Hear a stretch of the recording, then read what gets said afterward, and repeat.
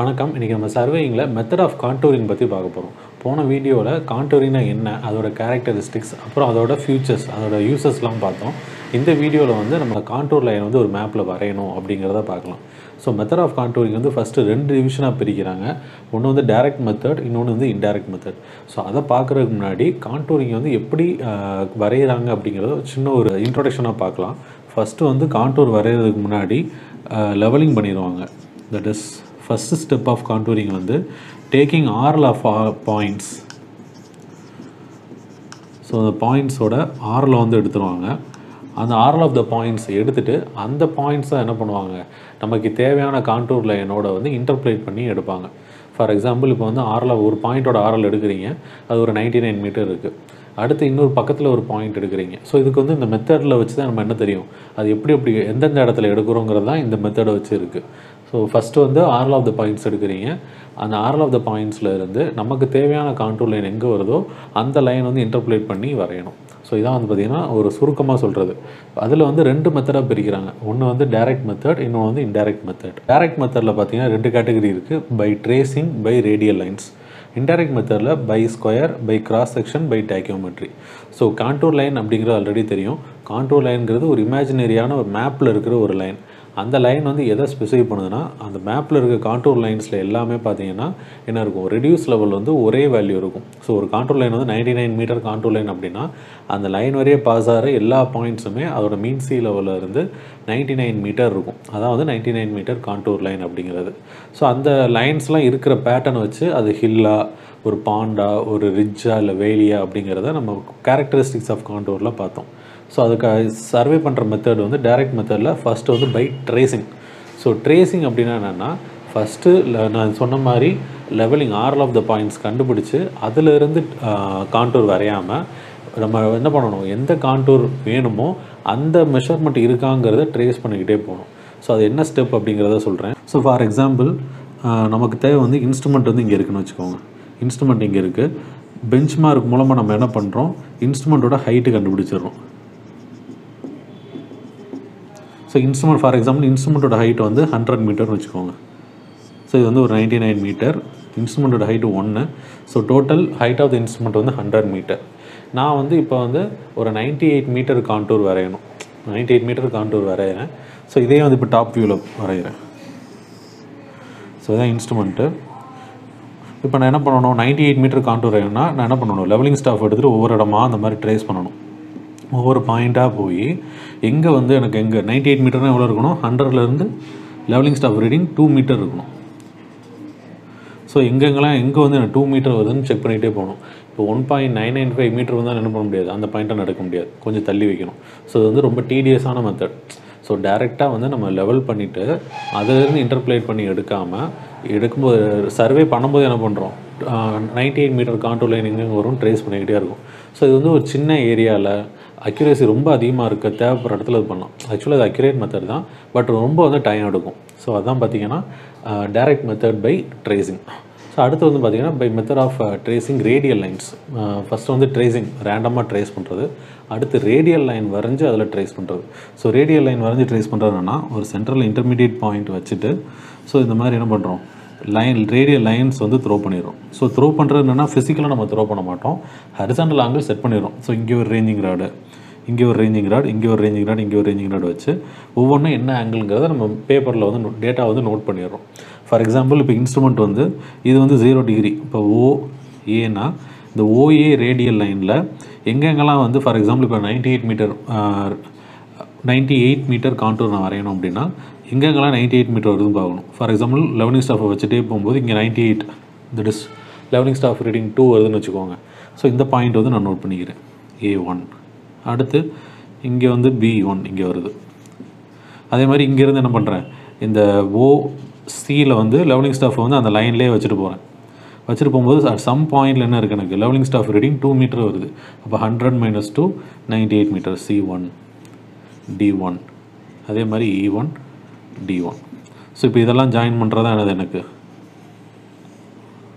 Ninety eight metre contour line சரிங்களா? இப்படி தான் பார்த்தீங்கன்னா கான்ட்ரோல் லைன் வந்து by tracing by radial line வந்து வரைகிறோம் இதே வந்து என்ன பண்ணுறோம் இது டைரக்ட் மெத்தட் என்ன அர்த்தம்னா லெவலிங் பண்ணும்போது அதாவது சர்வே பண்ணும்போதே எந்த ரேடியல் லைன் எந்த கான்ட்ரோல் லைன் வேணுமோ அந்த கான்ட்ரோல் லைனை எய்ம் பண்ணி ரீடிங் எடுக்கிறது. இதுதான் டைரக்ட் மெத்தட் இன்டைரக்ட் மெத்தட்னா ஃபஸ்ட்டு லெவலிங் பண்ணிவிட்டு பேப்பரில் கன்வெர்ட் பண்ணிவிட்டு அதுக்கப்புறம் கான்ட்ரோல் லைன் வந்து வரைகிறது ஃபார் எக்ஸாம்பிள் நம்ம தேவைப்படுற கான்ட்ரோல் லைனை வந்து அங்கே நாங்கள் என்ன பண்ணியிருக்க மாட்டோம்? ரீடிங் எடுத்துருக்க மாட்டோம். நம்ம வந்து ஒரு பாயிண்ட்ஸை ஃபிக்ஸ் பண்ணிவிட்டு அதோட லெவலிங் ரீடிங் எடுத்துக்குவோம். எடுத்துகிட்டு என்ன பண்ணுவோம்? ஃபார் எக்ஸாம்பிள் ஒரு பாயிண்ட் வந்து நைன்டி நைன் இருக்குது அதுக்கு அடுத்து நேராக இருக்கிற பாயிண்ட் வந்து ஹண்ட்ரட் இருக்குது அப்போ அது கண்டிப்பாக அதுக்கு நடுவில் என்ன இருக்கும்? நைன்ட்டி நைன் பாயிண்ட் ஃபைவ் கண்டிப்பாக இருக்கும். இல்லாமல் இருக்கவே இருக்காது. Ninety nine point five contour வேணும்னா என்ன பண்ணுவோம்? நான் அந்த டிஸ்டன்ஸ் வச்சு இன்டர்பிளேட் பண்ணுவோம். இது வந்து அப்ராக்சிமேட் தான். அக்யூரேட் வேல்யூ கிடையாது. இன்டெரக்ட் மெத்தடில் வந்து மூணு கேட்டகரி இருக்குது by squares by cross section by tacheometry by square அப்படிங்கிறது நம்ம கொடுத்துக்கு ஒரு பெரிய ஏரியா இருக்குது ஒரு ரிசர்வாயர் இருக்குது அந்த ரிசர்வாயர் என்ன பண்ணுவோம் நம்ம? ஸ்கொயர் ஸ்கொயராக பிரிச்சுக்கணும். ஸோ செயின் சவிங்கோ இல்லை ஒரு டேப் வச்சு மெஷர் பண்ணி ஒவ்வொரு நோடல் பாயிண்ட்ஸ் கார்னர் பாயிண்ட்ஸ் வச்சு ஸ்கொயராக வந்து பிரிச்சிடணும். லைக் ஒரு செஸ் போர்டு மாதிரி பிரிச்சிடணும்.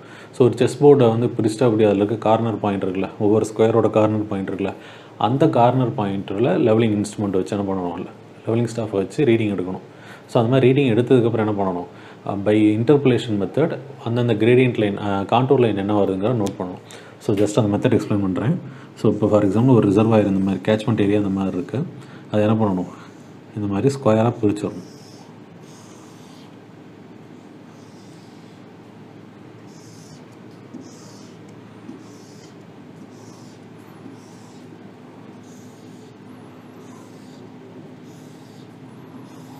ஸோ நமக்கு என்ன கிடச்சிச்சு? இந்த மாதிரி ஒவ்வொ- ஒவ்வொன்றும் பார்த்தீங்கன்னா நம்ம அக்யூரேசியை பொறுத்து five metre one metre two metre வரைக்கும் இருக்கலாம். நமக்கு எந்த அளவுக்கு அக்யூரேட்டாக ஆகணுமோ அந்த அளவுக்கு ஸ்கொயர்ஸ் வந்து இன்க்ரீஸ் பண்ணிக்கணும். இந்த டிஸ்டன்ஸ் வந்து கம்மி பண்ணிக்கணும். ஸோ இது ஃபைவ் மீட்டர்னு வச்சுக்கோங்க. இது ஒன்றும் ஆனால் எல்லாமே யூனிஃபார்மாக இருக்கணும். ஃபைவ் மீட்டர்னா இந்த பாயிண்ட்டோட ஆரல் ஃபார் எக்ஸாம்பிள் இங்கே லெவலிங் ஸ்டாஃப் இருக்குது லெவலிங் ஸ்டாஃப் வச்சு என்ன பண்ணிடுறேன்? எல்லாத்தோட ஆரல் கண்டுபிடிச்சிடுறேன். ஸோ ஃபார் எக்ஸாம்பிள் இது வந்து ஒரு நைன்ட்டி சிக்ஸ் இருக்குது இது நைன்ட்டி செவன் பாயிண்ட் ஃபைவ் இருக்குது இது நைன்ட்டி எயிட் இருக்குது இது நைன்டி செவன் பாயிண்ட் டூ இருக்குது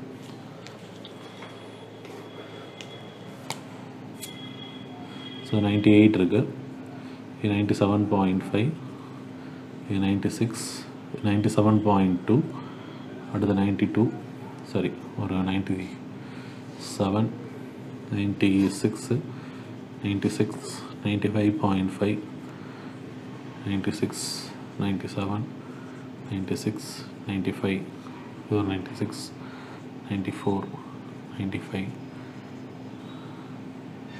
So இந்த மாதிரி இருக்குன்னு வச்சுக்கோங்க இப்போ வந்து நான் அதில் வந்து கான்ட்ரோல் லைன் எப்படி கண்டுபிடிக்கணும்? ஃபார் எக்ஸாம்பிள் எனக்கு வந்து நைன்ட்டி சிக்ஸ் பாயிண்ட் ஃபைவோட கான்ட்ரோல் லைன் வேணும். ஸோ இது வந்து மெத்தட் ஆஃப் ஸ்கொயர் மூலம் என்ன பண்ணுறேன் ஒவ்வொரு பாயிண்ட்டோட கார் ஆரால் வந்து கண்டுபிடிச்சிட்டேன். கண்டுபிடிச்சிட்டு பிடிச்சிட்டு இப்போ நைன்ட்டி சிக்ஸ் பாயிண்ட் ஃபைவ் வேணும். இப்போ இது வந்து ninety seven point five ninety six. அப்போ கண்டிப்பாக என்ன இருக்கும்? நைன்ட்டி சிக்ஸ் பாயிண்ட் ஃபைவ் இங்கே தான் நடுவில் ஒரு இடத்துல இருக்கும். அடுத்து பார்த்தீங்கன்னா இங்கே ஒரு ninety six ninety six point seventy five அப்போ இங்கே ஒரு நைன்ட்டி சிக்ஸ் பாயிண்ட் ஃபைவ் இருக்கும்.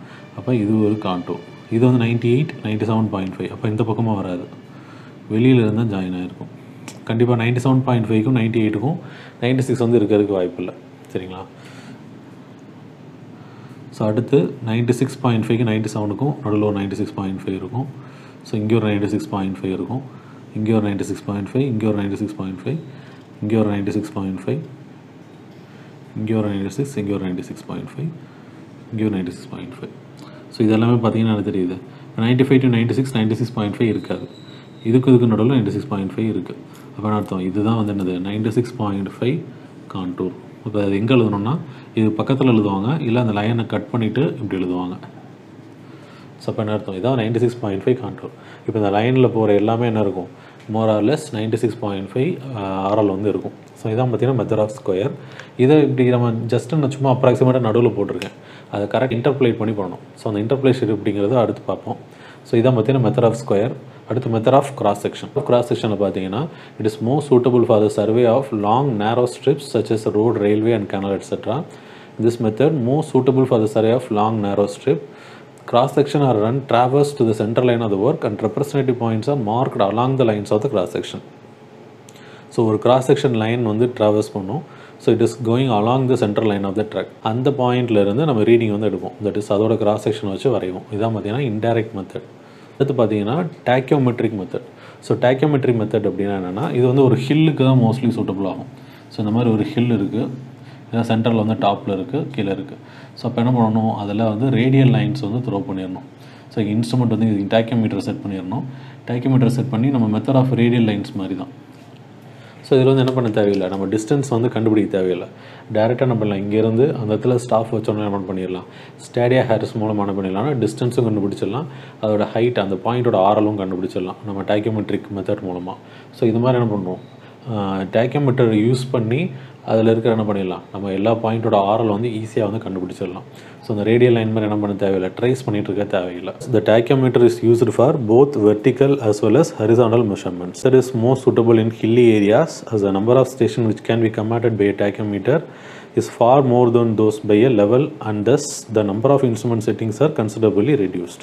நம்ம லெவலிங் ஸ்டாஃப் மாதிரி என்ன பண்ண தேவையில்லை இன்ஸ்ட்ருமெண்ட் ஷிஃப்ட் பண்ணிகிட்டே இருக்க தேவையில்லை ஒரு ஹில்லோட டாப்பில் இருக்குன்னா டைக்கோமீட்டர் இருந்தாலும் என்ன பண்ணிடலாம்? நம்ம ஈஸியாக வந்து ஹரிசான் டிஸ்டன்ஸ் நோட் பண்ணிடலாம். அதோட ஆரல் வந்து நம்ம கால்குலேஷன் வச்சு கண்டுபிடிச்சிடலாம். ஜஸ்ட் அங்கே ஃபீல்டிலேருந்து ரீடிங் ஸ்டடியா ஹேர் ரீடிங்கும் நம்ம என்ன பண்ணலாம்? Angle note vertical angle note பண்ணிட்டு வந்தாலே போதும். நம்ம ஃபீல்டில் வச்சு ஆஃபீஸில் வச்சு அதோட டிஸ்டன்ஸ் ஆரில் வந்து கண்டுபிடிச்சிடலாம் தேர் எலிவேஷன் அந்த distances are then calculated and plotted on the plan அந்த contour lines are then interpolated பார்த்தீங்கன்னா மெத்தட்ஸ் ஆஃப் த கான்டூரிங் அடுத்து வந்து இன்டர்பிளேஷன் அப்படின்னா என்ன பார்ப்போம் ஸோ இன்டர்பிளேஷன் வந்து ரெண்டு டெக்னிக் இருக்குது இப்போ நான் ஃபஸ்ட்டு வந்து இப்படி ரஃபாக போட்டேன் அது மாதிரி ரஃபாகவும் போடலாம் or by direct perfect interpolation so suppose A and B are two points at a distance of thirty metre அந்த reduce level of A and B are twenty five point four five and twenty seven point five four metre respectively Taking the contour interval as 1 meter, 26 and 27 meter contours may be interpolated in between A and B. The difference of the level is noted. So இதில் வந்து பார்த்தீங்கன்னா இந்த twenty six metre contour வந்து கேட்குறாங்க twenty six metre இல்லை twenty seven metre contour வந்து line வரையணும். So அதில் வந்து பார்த்தீங்கன்னா ஏ பாயிண்ட்டுக்கும் பி பாயிண்ட்டுக்கும் உள்ள டிஸ்டன்ஸ் வந்து முப்பது மீட்டர்னு கொடுத்துட்டாங்க. ஸோ ஹரிசானல் டிஸ்டன்ஸ் வந்து தேர்ட்டி இது வந்து பார்த்தீங்கன்னா twenty five point four five RL இது twenty seven point five four so இது வந்து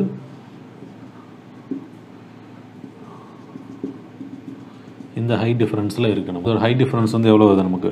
Two point zero nine so நமக்கு என்ன வேணும்? நமக்கு டுவெண்ட்டி செவன் மீட்டர் கான்டூர் வரையணும். இது வந்து பார்த்தீங்கன்னா twenty five point four five இது டுவெண்ட்டி செவன் அப்போ டுவெண்ட்டி செவன் எங்கே இருக்கும்? ஃபார் எக்ஸாம்பிள் இங்கே இருக்குன்னு வச்சுக்கோங்க. இந்த இடத்துல தான் டுவெண்ட்டி செவன் இருக்குன்னு வச்சுக்கோங்க. இந்த டிஸ்டன்ஸ் நமக்கு தெரியாது. நம்ம வரையணும். பேப்பரில் வரையணும் அப்படின்னா இந்த டிஸ்டன்ஸ் தெரிஞ்சால் தான் நான் எந்த இடத்துல கட் ஆகுதுங்கிறத என்னால் வரைய முடியும். ஸோ இந்த இடத்துல இருந்து இது எவ்வளோ தூரம்? ஃபார் எக்ஸாம்பிள் இங்கே நான் வரைகிறேன். இது வந்து ஏ இது பின்னு வச்சுக்கோங்க. இதோட டிஸ்டன்ஸ் எவ்வளோ? தேர்ட்டி மீட்டர் பட் இதோட ஆர்எல் எவ்வளோ? Twenty five point four five இதோட RL twenty seven point five four metre எனக்கு என்ன வரையணும்? ஒரு twenty seven metre RL contour வந்து வரையணும். அப்போ எனக்கு என்ன வேணும் எந்த இடத்துல கட் ஆகும் தெரிஞ்சால் தான் இந்த எக்ஸ் டிஸ்டன்ஸ் தெரிஞ்சால் தான் நான் டுவெண்ட்டி செவன் கான்டூர் வரைய முடியும். அப்போ என்ன பண்ணணும்? ஸோ இந்த எக்ஸ் கண்டுபிடிக்கணும். ஸோ பார்த்தீங்கன்னா உங்களுக்கு சிமுலர் ட்ரையாங்கிள் கான்செப்ட் வந்துடும் ஸோ இது ஒரு ட்ரையாங்கிள் இது ஒரு சிமுலர் ட்ரையாங்கிள் ரெண்டுமே சேர்த்து ஒரு சிமுலர் ட்ரையாங்கிள் வந்துடுது ஸோ இப்போ என்ன பண்ணணும்? Horizontal by total horizontal x divided by this height so இதோட ஹைட் எவ்வளோ உங்களுக்கு? இது டுவெண்ட்டி ஃபைவ் பாயிண்ட் ஃபோர் ஃபைவ்னா இது எவ்வளோ இருக்கும்? Twenty seven minus twenty five point இது வந்து twenty five point four five தானே? இப்போ என்ன இருக்கும்? Twenty seven minus twenty five point four five so இந்த ட்ரையாங்கிளோட பேஸும் ஹைட்டையும் நான் எடுத்துக்கிறேன். So which is equal to இதுக்கு ஈக்குவலாக இருக்கும்? இந்த பேஸ் இந்த ஹைட்டுக்கு ஈக்குவலாக இருக்கும். Thirty by two point zero nine so இது போட்டால் என்ன வருது நமக்கு? Which is equal to thirty into one point five five divided by two point zero nine which is equal so பண்ணிங்கன்னா twenty two point two five metre அப்போ என்ன இருக்கணும் ஏலேருந்து twenty two point two five metre தூரத்தில் இருக்கணும். மொத்தமாக முப்பது metre so இங்கேருந்து twenty two point two five மீட்டரில் தான் இந்த கான்டூர் கட் ஆகும். ஸோ இதே மாதிரி பக்கத்தில் இருக்கிறத பார்த்து அதை அப்படியே ஜாயின் பண்ணிடணும். ஸோ இதான் பார்த்தீங்கன்னா interpolation by arithmetic methods so இதே வந்து கிராஃபிக்கல் மெத்தட்ஸ் இருக்குது graphical method of interpolation is simpler as compared to the method and and the results results are accurate out of the several graphical method methods most most common is given so இந்த மாதிரி வரிசையாக வந்து அந்த நம்ம என்னென்ன contour எடுத்தோமோ அது வந்து இப்போ ஹரிதண்டல் ஸ்ட்ரைப்ஸாக வந்து வரைஞ்சிக்கணும் அதை வந்து அந்த ட்ரேசிங் பேப்பர் மேலே வச்சு fifty five sixty sixty five இந்த மாதிரி நம்பர் கொடுத்துடணும் ஸோ கொடுத்துட்டு place the tracing cloth so that the point A is on the third line from the bottom Now move the tracing cloth until B is on the fifth line and above 60 meter thick line. இந்த மாதிரி tracing paper வச்சு அதிலிருந்து இருக்கிற calculation வச்சு பண்ணுறது தான் பார்த்தீங்கன்னா graphical method so இந்த கிராஃபிக்கல் மெத்தட் வச்சு நம்ம என்ன பண்ணலாம்? ஒரு அக்யூரேட்டான ஒரு டீட்டெயில் வந்து நம்மளால் ஃபைண்ட் அவுட் பண்ண முடியும். ட்ரேசிங் பேப்பரில் வந்து என்ன பண்ணுவோம் நம்ம அடுத்தடுத்து அந்த டிவிஷன்ஸ் எவ்வளோ நம்ம கான்டூர் வந்திருக்கோமோ அதை ஒன்று to ten one by ten scale ஸ்கேலில் வந்து நம்ம வரைஞ்சிக்கணும். வரைஞ்சிட்டு அதுக்கு மேலே என்ன பண்ணணும்? ஃபிஃப்டி ஃபைவ் நம்ம எந்த கான்டூர் வேணுமோ அதை வந்து ஒரு டெஃபினைட்டான திக் லைனில் வந்து வரைஞ்சிடணும். ஸோ ஃபார் எக்ஸாம்பிள் இப்போ sixty two point five metre வேணும் அப்படின்னா அந்த கரெக்டாக அந்த கான்டூர் நம்ம வரைஞ்சிருக்கிற ட்ராயிங் இருக்குல்ல அது மேலே ஃபிட் பண்ணிட்டோம் அப்படின்னா அந்த sixty two point five metre எதனா டிவிஷனுங்கிறத பார்த்து நம்ம அதை ப்ளாட் பண்ணிடலாம். ஸோ இந்த மெத்தட்லேருந்து என்ன தெரியும்? நமக்கு எப்படி வந்து ஒரு கான்டூரை வந்து எப்படி பே சர்வேல பண்ணி அதை பேப்பர் கன்வெர்ட் பண்ணி மேப்பில் வந்து எப்படி ப்ளாட் பண்ணுறது அப்படிங்கிறத பார்த்தோம். ஸோ இன்னும் சர்வேயிங் டெக்னிக்ஸ் நிறையா தெரிஞ்சுக்கணும் அப்படின்னா நம்ம சேனலை சப்ஸ்கிரைப் பண்ணுங்கள் உங்கள் ஃப்ரெண்ட்ஸுக்கு வந்து ஷேர் பண்ணுங்கள் தேங்க்யூ